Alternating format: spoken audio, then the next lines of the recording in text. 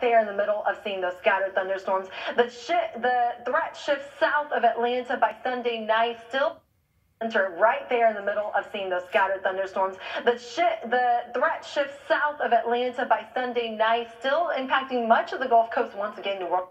The, shi- the threat shifts south of Atlanta by Sunday night, still impacting much of the Gulf Coast once again scattered thunderstorms. The, the threat shifts south of Atlanta by Sunday night, still impacting much of the Gulf Coast once again. New Orleans are still in that threat, as well as Charleston and Raleigh are just out of that, but just uh, across the Outer Banks. You'll